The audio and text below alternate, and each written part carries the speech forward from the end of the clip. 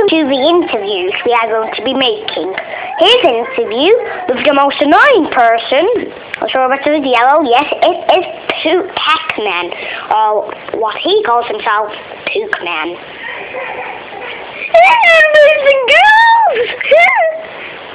that is his way of saying hello, how are you, in retail language.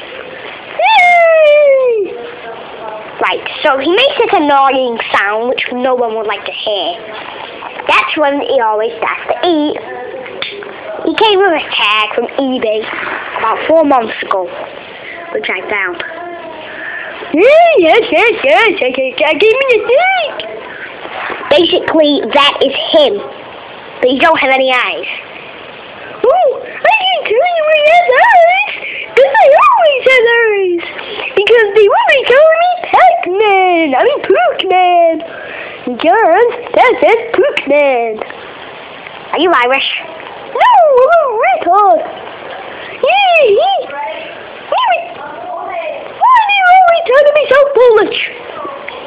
We're to have an interview of what he has been doing in this video game system called Namco for the past five years. It's usually years, thank you very much. Oh. Yes, I've been liking it with my cellmate, Minnie Morph.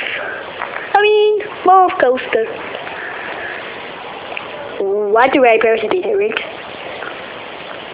You've just been sent our guys. Sweetheart. Big man. Alright. Hello, bro! Remember me? Your old pal, Stinky Breeze!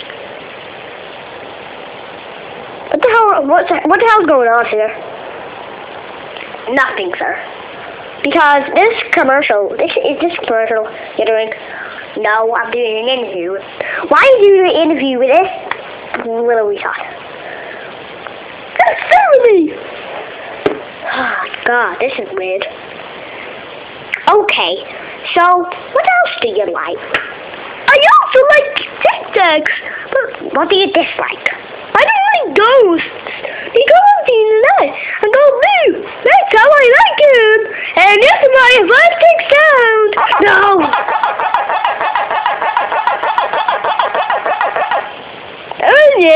a beautiful there.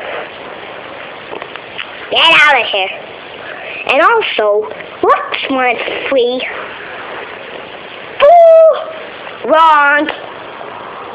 Wrong. It's four. I did four. Dang it. I'll try with seven.